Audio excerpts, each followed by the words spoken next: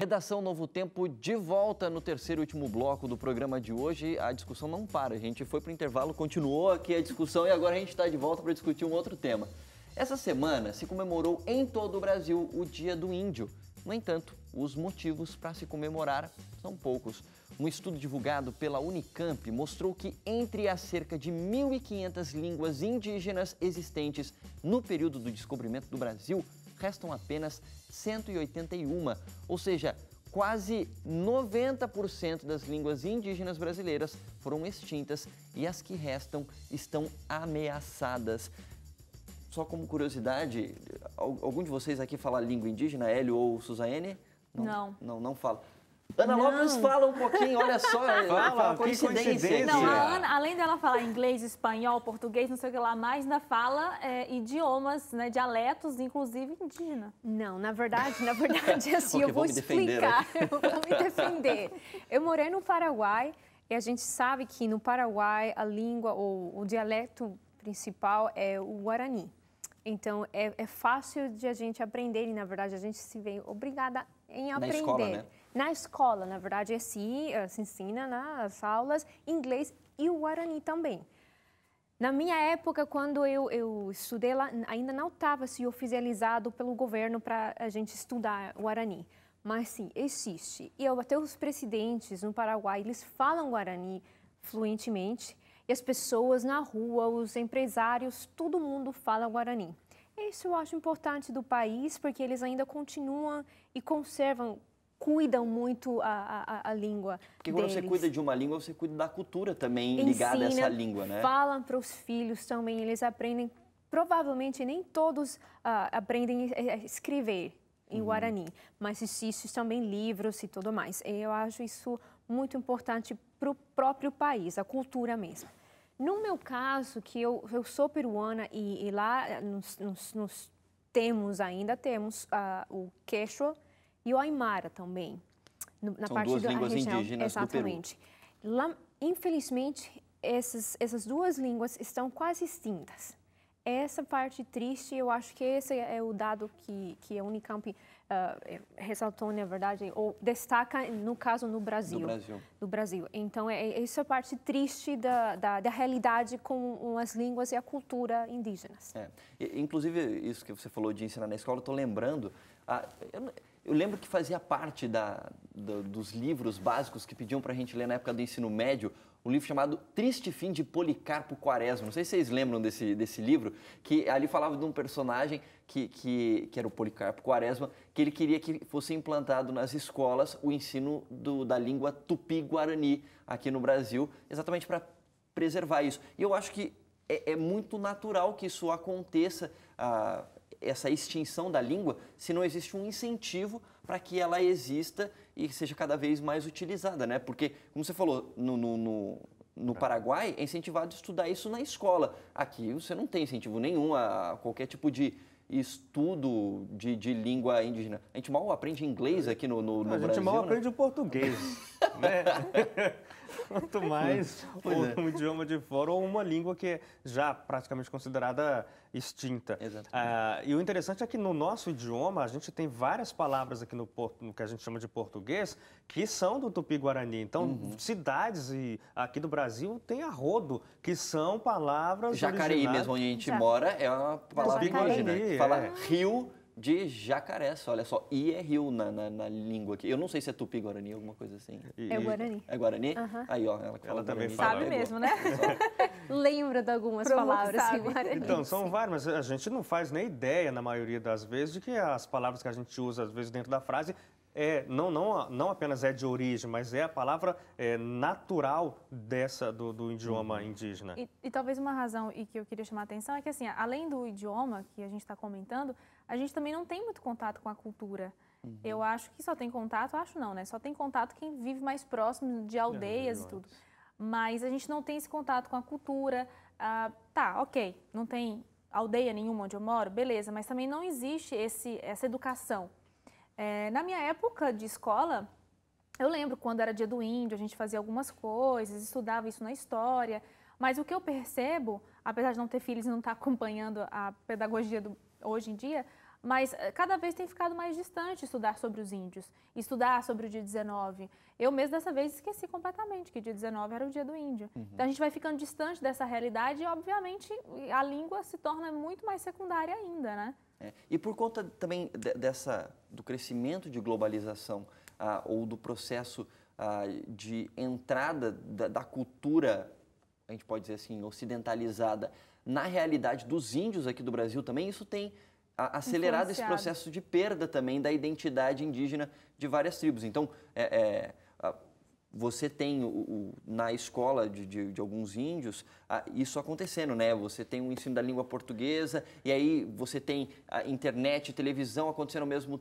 tudo ao mesmo tempo, aí você tem uma inundação da cultura que só tem a língua portuguesa, entre outras questões culturais, e aí o próprio índio acaba perdendo um pouco o incentivo pela própria cultura, não só de expansão da cultura indígena para pessoas que não têm necessariamente uma relação com, com os índios, mas o próprio índio perdendo um pouco disso por conta desse processo de globalização também. Né? No, no caso do Peru, eu sempre acho importante destacar que nessas escolas, principalmente, a gente tem que estudar muito dos, dos indígenas, uhum. que a gente é conhecida pela cultura inca, é verdade. Mas antes da cultura inca, muitos anos antes, tinham pelo menos. Esses dias, inclusive, eu fiz uma homenagem para você com, com uma escultura inca lá, né? Exatamente. Só que existiam muitas outras culturas. Eu não vou falar um número porque provavelmente eu vou errar, mas muitas outras culturas que a gente na escola tem que estudar. E a gente, pela história, a gente consegue entender por que, que essas culturas indígenas, muitas dessas culturas indígenas ficaram extintas foram muitas guerras, foram muitas lutas e a, a outra influência dos outros países que foram para conquistar a, a, as regiões aqui na, na, América do Sul, tudo isso tem a ver. A gente tem que voltar para a história para poder saber e analisar, na verdade, o, o, o presente nesse momento.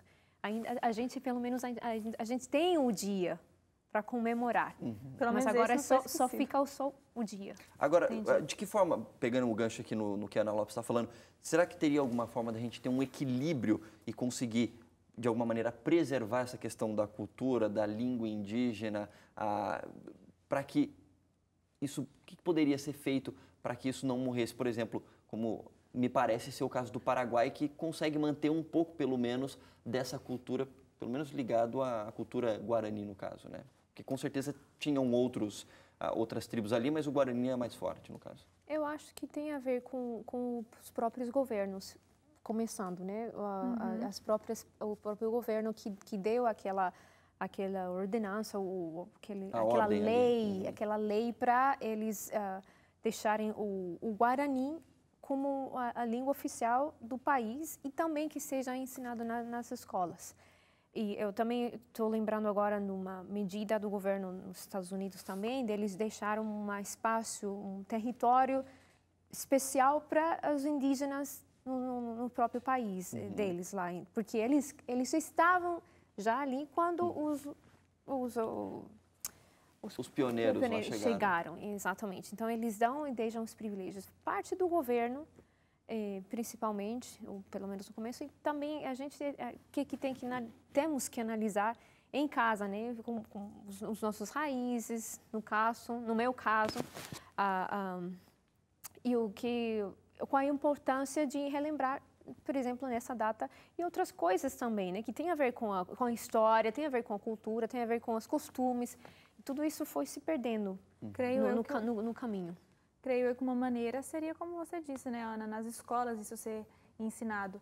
É, eu não sei quantos de vocês aqui, quando era 7 de setembro, essas datas civis, iam, a gente ia hastear a bandeira, não sei se vocês faziam isso na escola? Fazia. Ia de frente para a bandeira e tudo. E não existe isso mais, né? Não, não, não vejo por aí. Eu, eu, eu, imagino que tenha um pouco de civismo ainda, como você falou, eu estou meio longe da, da pedagogia hoje em dia, mas eu, eu, sinto que isso ainda tem. Mas, obviamente, Muito que pouco, talvez né? tem, tem diminuído, porque a gente, a, a gente foi educado, a gente veio de uma educação na, na, nossa época uhum. ali, que tinha muita influência ainda do militarismo, ainda que o Brasil viveu durante muito tempo. Então, esses atos de civismo a, pelo menos aqui no Brasil, sempre foram muito puxados pelos militares. Então, até um tempo, mesmo depois do final da, da ditadura, a, teve resquício, só que isso já aconteceu há bastante tempo, então acho que isso tem se perdido, né? Sim, é, eu, eu acho que, que tem se perdido até por conta do militarismo. Talvez as pessoas, talvez até inconscientemente, queiram uma distância tão grande do, dos horrores da ditadura que acabem jogando fora tudo, inclusive as coisas boas, porque isso na minha visão, era algo muito bom. Sim. Eu me lembro de, na minha escola, a gente fazia todos os dias uhum. o momento, na hora da, da entrada da escola, uhum. a gente cantava o hino nacional, fazia o hasteamento à bandeira, é, e isso era todos os dias. Eu, eu, lembro que eu, eu, eu, sei até hoje, por conta dessas coisas da escola, eu sei o hino nacional, eu sei o hino da bandeira, e o hino da, da, da, da independência também. Então, assim... Eu lembro é... que tinha, sim, era sagrado, eu, não eram todos os dias, mas tinha uma semana especial é, lá que a gente ia todos os dias, era sagrado, fazia filinha, a gente tinha que ficar realmente na posição. Não existia isso de bater palma, porque hoje, pode, se você é. vai em alguns eventos, a galera bate palma depois do hino nacional. Era um desrespeito tremendo. E a mãozinha ou aqui assim, né? Ou então dessa maneira. Eu já fui em alguns eventos assim de prefeitura e tudo, as pessoas não têm mais posicionamento, alguns estão mexendo no celular, estão fazendo ligação, não tem mais o posicionamento correto. Então você vai perdendo. No dia do índio, eu lembro que quando eu era bem criança, a gente tinha para colorir alguma coisa que fizesse menção ao dia do índio, fazia algumas... Mas fazia um cocar e saía fazendo uh, o que Não, é, é ruim, né? porque é. a visão de o que é o índio era isso. Eu me lembro muito bem disso pessoal, até recentemente, era comum ver as criancinhas voltando da escola com um cocarzinho feito de papel e. Pintado Não, é, talvez né? não fosse a melhor saída, mas é uma coisa é, que, fica, é.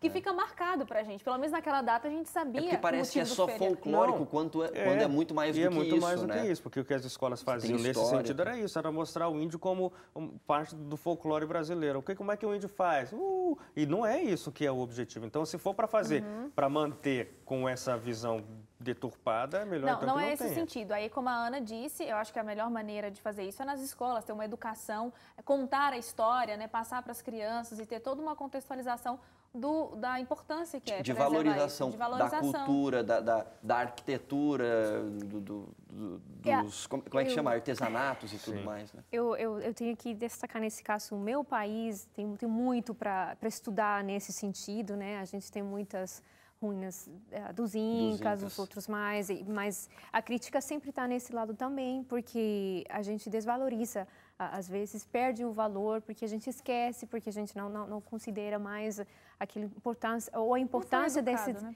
é, exatamente, mas é, é tá ali, é, é relembrar. Excelente. Bom, a gente vai terminar o programa de hoje com uma notícia boa, como a gente sempre tem feito, com uma ideia muito interessante que vem transformando tragédia em oportunidade. Quase seis meses após o acidente de Mariana, em Minas Gerais, um projeto tem utilizado a lama deixada pelo rompimento das barragens para criar tijolos que estão ajudando a reconstruir a região. O projeto, que começou em janeiro, vem produzindo mil tijolos artesanais por mês e o plano agora é construir uma fábrica para acelerar ainda mais a produção. O que vocês acharam? Bom, né? Não tem como achar outra coisa a não ser bom, né? Uma graça, né? Em meio a tanta desgraça que aconteceu, é, já que aconteceu, né? Vamos tirar pelo menos alguma coisa que possa promover o sucesso para algum lado, né? Achei, achei bem legal.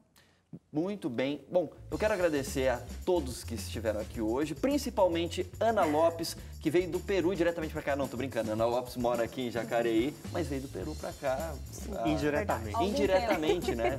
Quer dizer, na verdade, ela veio do Peru, ela veio do Paraguai, ela veio da Argentina. Eu venho de todo lado. De todos os lugares. Estava nos Estados Unidos faz umas semanas aí, de todos os lugares. Obrigado, Ana, pela participação. Eu que agradeço. Olha, eu não sei como está o seu Guarani, porque eu não falo, mas o seu português está muito bom. Obrigada. Né? Realmente estou me esforçando ainda. Eu Melhor acho que, que falta mais. tá, eu quero saber por que, que eu tenho que estar no meio dessa história. É uma cutucada, né? Não sou exemplo de português, tá?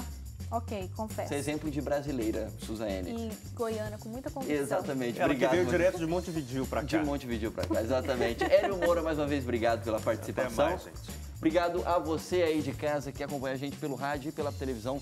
Mais uma vez, é um prazer estar na sua companhia aqui no Redação Novo Tempo. A gente vai ficando por aqui e a gente se encontra na semana que vem. Até lá!